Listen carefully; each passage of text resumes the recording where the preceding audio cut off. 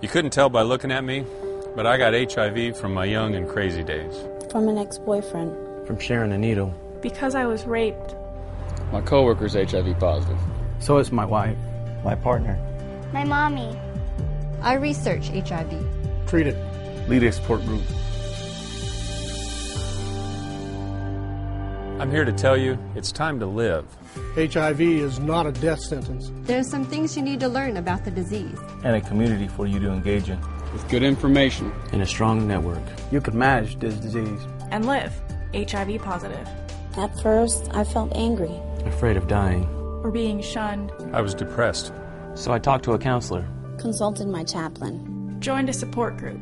I learned HIV isn't passed just by touching. Or kissing.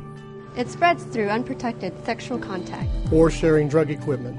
And HIV is not AIDS. It's a virus that can lead to AIDS. The earlier you get treatment, the better.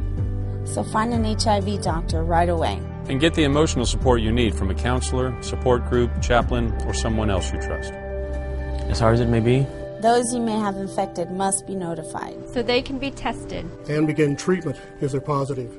You can tell them yourself. Or your health care provider can assist in notifying them without sharing your identity. Whoever else you choose to tell is up to you. There is the cure for HIV. Yes. But we've come a long way in managing this disease. You can have sex. And have children. Excel in your career. Follow your dreams. I know this is scary. But you're not alone. We can do this together. There is life HIV positive.